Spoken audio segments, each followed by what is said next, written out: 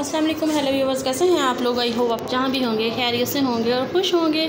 تو میں آج بنا رہی ہوں بیف اور آلو شوربے والا سالن۔ تو یہ دیکھیں، تمام میں نے مسالے وغیرہ، ٹماٹر، مرچ، وہ میں نے کٹنگ کر لی ہے اور لہسن فریز کیا تھا، وہ میں نے جتنا مجھے چاہیے تھا، اتنا میں نے لے لیا ہے۔ آلو کٹنگ کر کے پانی میں ڈپ کر دیے ہیں اور گوشت کا میں نے گلا لیا ہے، ویڑ لگا کے۔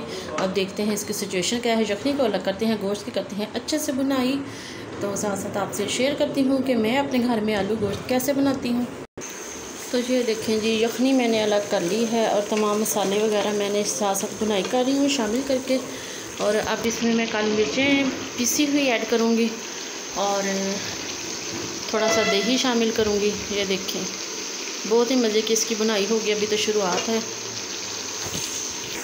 تو یہ دیکھیں جی ساتھ ہی میں نے آلو شامل کر دی ہیں۔ آلو شامل میں نے جلدی اس لیے کر دی ہے کہ مجھے لگ رہا ہے کہ گوشت کا ویٹ زیادہ لگ گیا ہے۔ پچھلی بار میں نے بیف کڑاہی بنائی تھی، تو اس حساب سے تو گوشت بالکل ٹھیک گل گیا تھا۔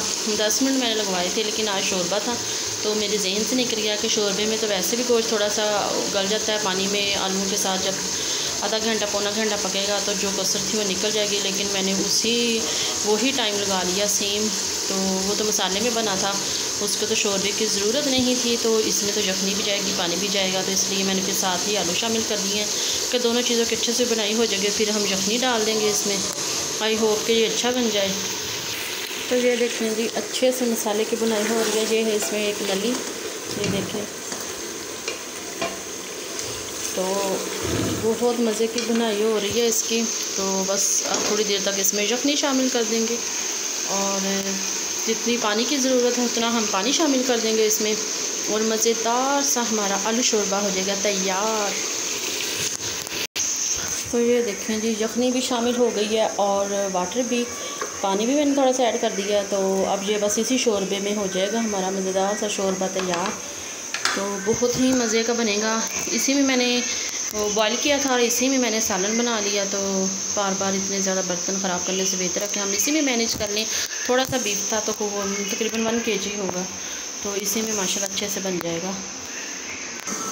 یہ دیکھیں جی ساتھ ساتھ بن لیں گے ہماری روٹیاں۔ اور سالن خوب جوش و خروش سے ہو رہا ہے بوائل یہ دیکھیں ماشاء اللہ سے۔ بہت گرمی ہے، کچن میں بہت زیادہ گرمی ہے اور جنہوں نے ابھی تک میرے چینل کو سبسکرائب نہیں کیا، وہ کانڈلی جلدی سے میرے چینل کو کر لیں، سبسکرائب اور میری ویڈیوز کو کر لیں واچ۔ تو ابھی میں اس کو سیک کے پہ سیکوں گی، موبائل سائڈ پہ رکھ کر اور چولہے کے اوپر اس کو میں سیکوں گی تاکہ یہ اچھی سی پک جائے۔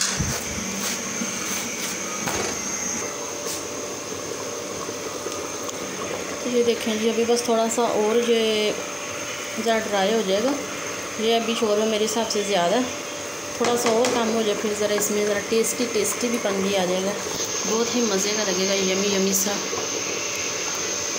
ماشاء اللہ اس میں خوشبو بہت ہی پیاری آ ہاں جی تو یہ ہے ہمارا مزیدار سا بیف کا سالن ہو گیا ہے تیار آلو شوربہ بہت ہی مزے کا لگ رہا ہے یہ دیکھیں دیکھنے میں بھی اس کی لک بہت ہی مزیدار لگ رہی ہے تو تھوڑا سا ٹرائی کیا ہے رائس پہ ڈال کے تو بہت ہی مزے کا بنا ہے، روٹیاں بھی بنائی ہیں ساتھ ساتھ۔ تو آپ نے بتانا ہے، آپ کو میرا آج کا بھی لوگ کیسا لگا؟ اگر اچھا لگا تو اچھے اچھے کمنٹس کیجیے گا، اپنی رائے کا اظہار دیجیے گا اور میرے چینل کو سبسکرائب کرنا بالکل بھی مت بھولیے گا۔ تو ملتے ہیں نیکسٹ بھی لوگ میں۔ تب تک کے لیے اللہ حافظ۔